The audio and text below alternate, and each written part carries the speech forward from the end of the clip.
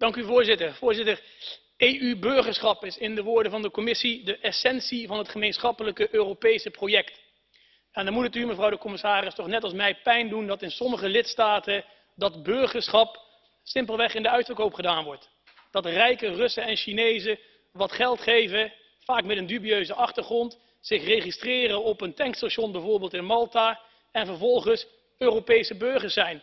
Dat gaat lijnrecht in tegen alles waar Europa voor staat. En al jaren vragen wij hier aandacht voor en het wordt nu echt tijd om een keer in actie te komen. En er zijn drie zaken die moeten gebeuren. Allereerst een verbod op het verkopen van paspoorten.